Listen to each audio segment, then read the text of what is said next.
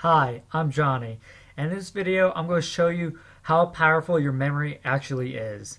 So somebody posted a challenge on um, on remembering this diagram, and for me, I love memory challenges, pushing my memory to the limit, and so I decided to learn this diagram, and it only took me nine minutes and 33 seconds to learn this whole diagram.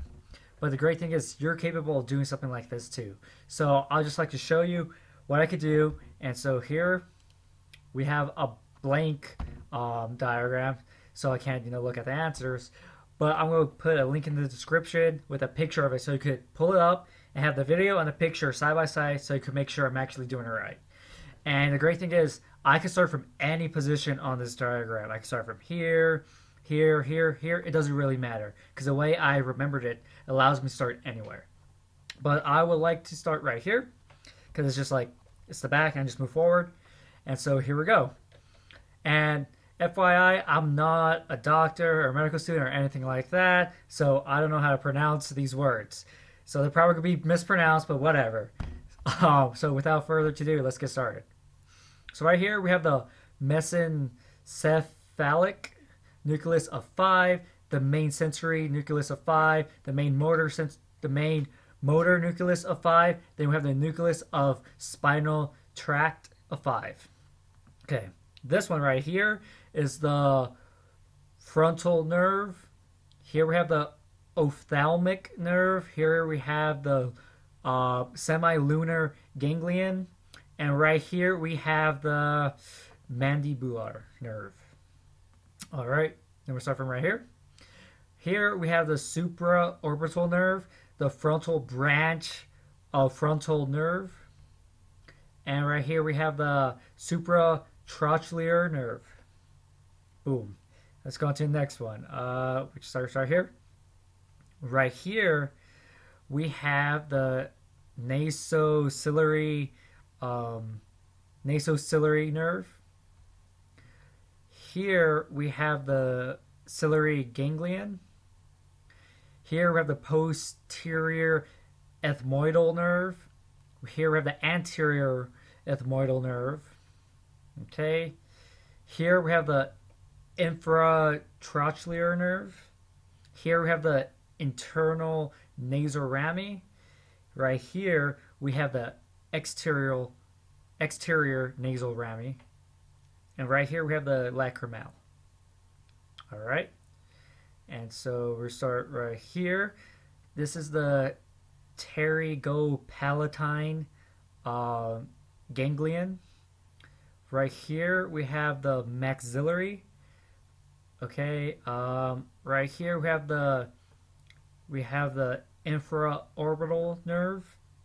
Right here we have the anterior superior uh, anterior superior alveolar nerves. And then right here we have the nasal and labial, uh, nasal and labial, nasal and labial rami, um, rami of infraorbital nerve. That's what we have right here. Ooh, that one's a lot longer. okay, all right. Um, right here, I believe, is the uh, anterior and posterior deep temporal nerve. Right here, we have the external pterygoid muscle, and right here, we have the um, buccinator nerve. All right. Okay, so then right here, oh wait, my bad. Right here, right here we have the the chorda tympani nerve, the lingual. Right here we have the lingual nerve.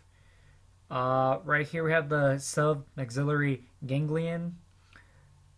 Uh, right here we have the submaxillary and the sublingual glands. All right, and then right here, almost done. Right here we have the uh, oct- octic octic ganglion.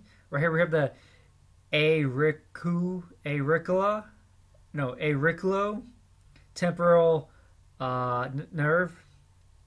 That was something else. That long word. Um, here we have the internal pterygoid muscle. Oh wait, right, right here, wrong thing. Right here, right here we have the um, internal pterygoid muscle. Okay, right here we have the masseter muscle. Right here we have the malleoid nerve. Here we have the malleoid muscle. Right here we have the we have the anterior belly of digastric muscle. Okay, right here we have the inferior alveolar nerve, and right here we have the mental nerve. And there you go. I was able to learn all this information in 9 minutes and 33 seconds. And here's a picture just so you show. I got pretty sure I got everything. You know, the pronouncing it might have been murdered. Might murder that, but that's okay. Because besides that, I know where everything is. You could pick a point. You're like, what's that? What's this? I could tell you just off the top of my memory. And there you go.